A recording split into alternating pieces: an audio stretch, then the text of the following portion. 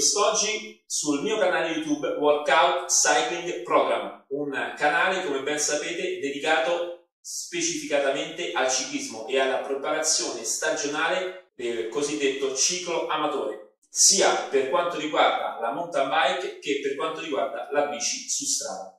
Oggi parliamo di agilità, un allenamento in questo periodo, cioè nella seconda settimana di marzo, specifico per chi eseguirà 5 sedute alla settimana. Iniziamo subito per quanto riguarda l'allenamento agilità a parlare di riscaldamento.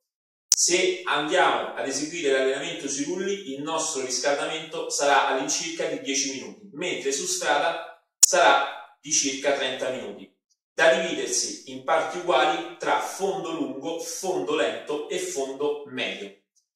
Passiamo poi alla parte centrale dell'allenamento, dove per primo affronteremo un fartlek con un cambio di cadenza, dove alterneremo dei lavori a fondo lungo a 90 rpm e lavori in soglia a 100 rpm. Andiamo poi a parlare dei due circuiti che affronteremo quest'oggi. Il primo circuito andrà ripetuto 4 volte e si partirà da una cadenza di 80 rpm fino ad arrivare a una cadenza di 100 10 RPM. Passiamo poi al secondo circuito da affrontare, un circuito con un sistema piramidale dove si partirà da 100 rpm fino ad arrivare a 130 rpm. Da lì torneremo indietro e torneremo fino a 100 rpm. Defaticamento.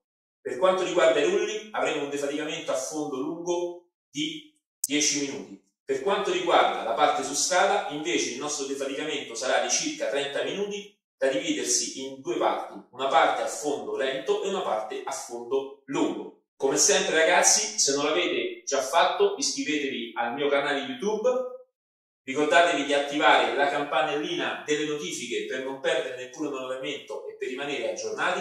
Mi raccomando, mettete un like, sponsorizzate il canale YouTube con i vostri amici, con i vostri eh, compagni di squadra tramite i vostri social e noi come sempre ci vediamo alla prossima.